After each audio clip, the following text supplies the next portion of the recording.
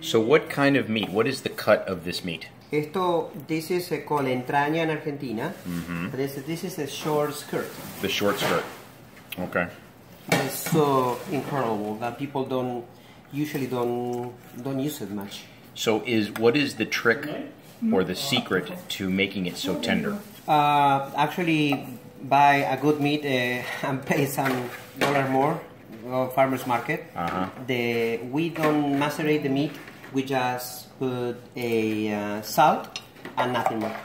And the salt is adding at the end when it's cooked. Oh, really? Yes. Okay. Not at the start.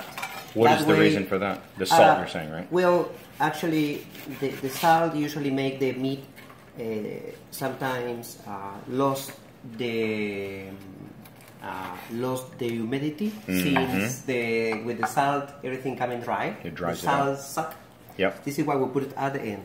All right. And now talk to me about the sausage. These are the, the The sausages, I don't know if we have any package. Mm-hmm. Uh, Sergio, that is with us tonight, he made a special recipe that Argentinian theoretically, uh, the way that we could, the, the, the way that we do it is mixing uh, 30% of cow meat Mm-hmm. and the rest will be pork.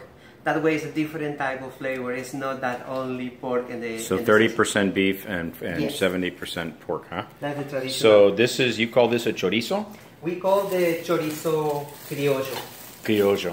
Yes. Okay. And we are serving this in two different type of bread. Okay. One is a focaccia, and Uh-huh. one is the typical. This is this is what we call choripan.